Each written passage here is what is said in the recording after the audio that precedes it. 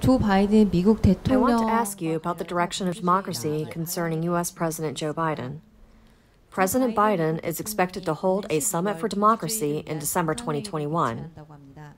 According to the White House, the virtual meeting will be attended by leaders of the world's democracies, civic groups, and private sector representatives. This meeting is being held to discuss three main topics of authoritarianism, eradicating corruption, and protecting human rights. This will be an opportunity to have frank discussions about the challenges that democracy faces in order to strengthen the foundation for recovering democracy. Judging from the agenda of this meeting, the American media surmises that the talks are aimed at China and Russia, and as such, both nations are expected to be left out. The recent global situation is entering a new Cold War era led by the US and China, and although no actual gunfights are taking place, a war without gunshots has already begun. I ask for your guidance on the future direction of democracy. You are requesting that I answer the world agenda here in a suburb of Korea. What is the current situation of the global village? It is divided into two confronting ideologies communism and democracy. Has democracy succeeded?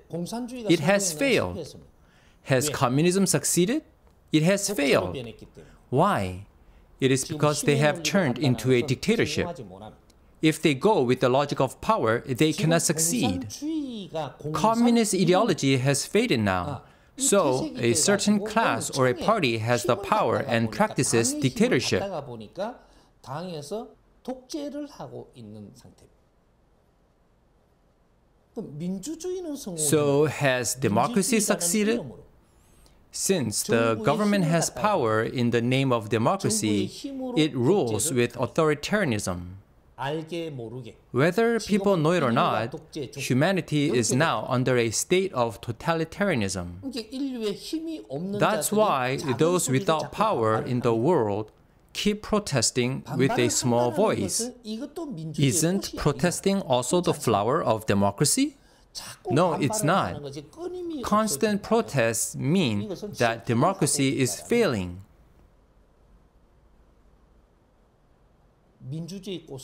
What is the flower of democracy?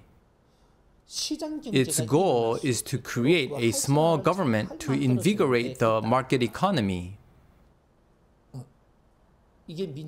This is the flower of democracy. When the government becomes big and powerful, it starts to interfere and ends up becoming a dictatorship. When does the foundation of democracy shake?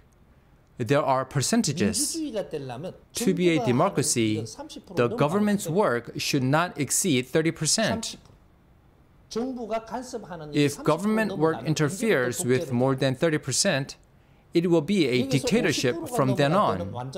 When it is over 50%, it is complete totalitarianism. When it reaches 70%, it is the worst dictatorship among dictatorships. This is how it goes. It's neither a democracy nor a market economy. When the government oppresses the people, it cannot be straightened out. Eventually, this will fester and explode. Then you have to hemorrhage a lot to build the world anew. That's how it happens. Democracy has failed. But there is still time to get it right.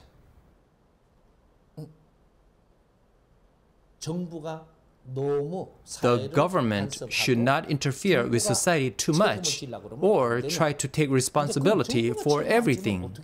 So, what happens when the government doesn't try to carry the load? It is society that makes companies grow. Once a company has grown, it must act for the sake of society. If this happens, we can find the right path because everything that the government or corporations do is for the sake of society. Companies have grown and accumulated strength. Why have they developed? They have grown in order to benefit the people and society with that power. That is what turns a company into a project planning corporation that does what society needs. The people and society have sacrificed together by tightening their belts until companies have grown up properly. When companies start taking care of society, people will benefit as well. In this way, the work of the government should be small and the work of the corporation should be big. Then society won't be oppressed. This is the success of democracy. And when the companies play such a role in society with this power, society will become better, and we will reap the reward of our hard work together.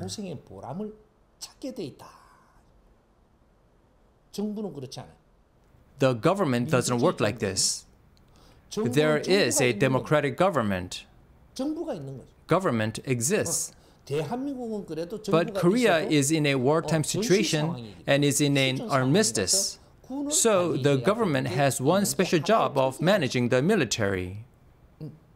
하지만 그런 것들을 Due 힘을 to such a 사용하고 unique situation, 어, the 이는 government is 정부가 meddling in 간섭을 society 많이 하기 using 시작을 this power. 이렇게 해서 대한민국은 비틀어지고 있는 That is why 대한민국 or Korea got so 정부가 힘을 convoluted. 가지면 If the 나라가 government 망한다. becomes too powerful, the country will collapse.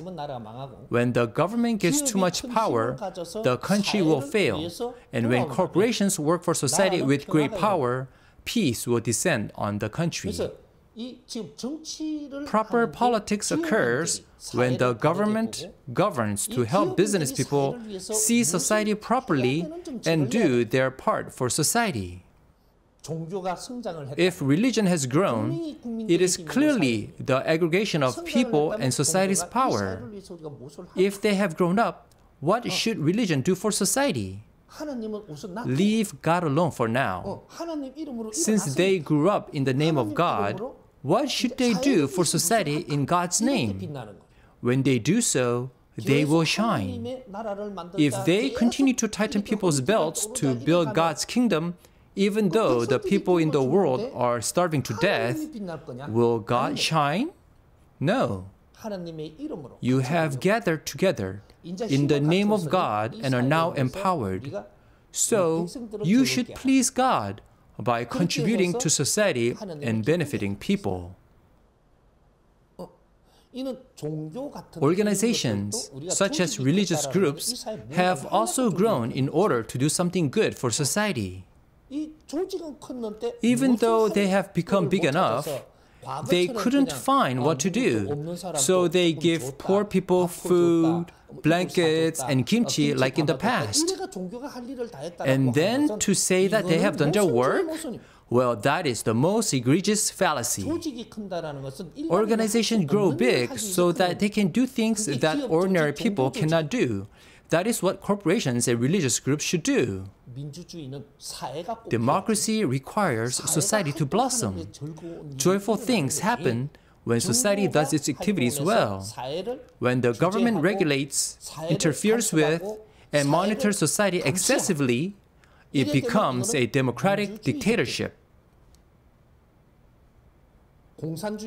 communism has already become a dictatorship, and democracy is slowly turning into one, whether people recognize it or not. They are monitoring people. Is there anyone who is criticizing our organization? Find that person quickly and start a tax audit. That is how they monitor. A lot of surveillance means that the government is becoming a dictatorship. Things should be left to the market economy. If the government interferes with the housing market excessively, this is a dictatorship. It is not a market economy. What is twisted once will be twisted again and again, and eventually it will burst later on. We have to think about these things. If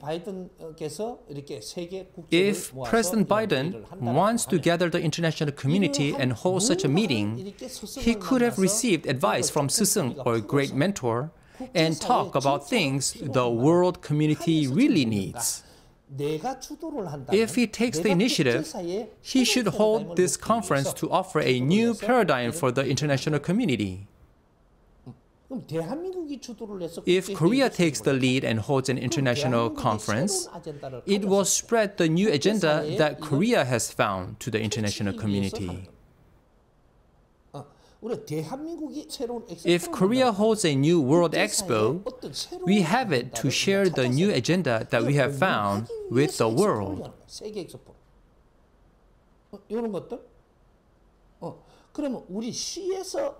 If you play a role in your city and hold an event on the agenda for the entire country, you have to come up with ideas that can convince the people of the entire country and take the lead to find something new.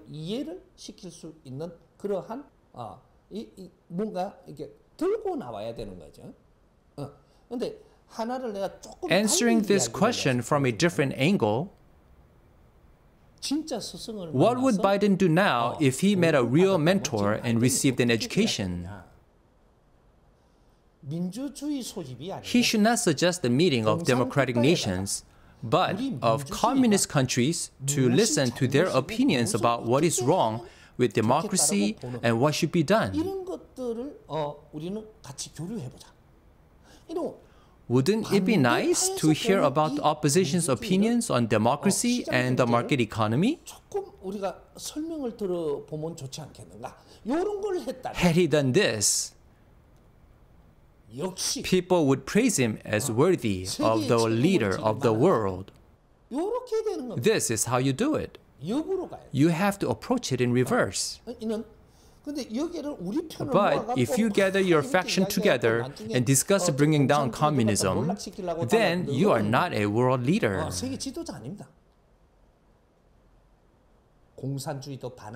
Communism will change only when you have a democracy where even communists are impressed by it. If you want to be good at communism, you have to have a kind of communism with which democracies can fall in love with. You have to present your opinion confidently, even if there are some flaws right now, and have a discussion about it. If they do such a thing, the world will see that leaders are making a global effort. Do not attack your opponent. Eventually, you will be attacked. It is important to find out what your weaknesses are, even if you can't find them right now. That is something you need to ask your partner. So, as I see it, such world conferences seem mediocre because they keep holding events that do not advance to the next level. If the leaders of many countries gather and spend much time, shouldn't they at least do something that deserves the world's attention? So these are my thoughts.